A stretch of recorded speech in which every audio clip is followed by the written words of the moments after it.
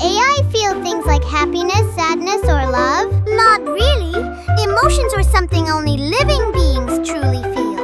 But some AI systems are trained to guess how people might be feeling, like noticing when someone looks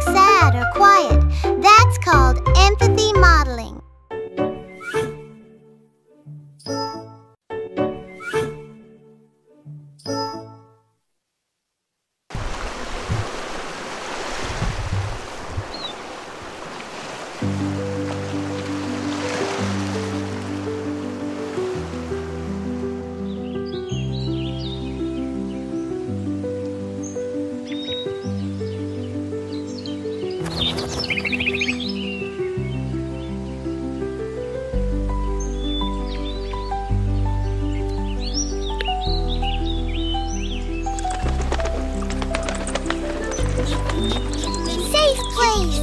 Memory.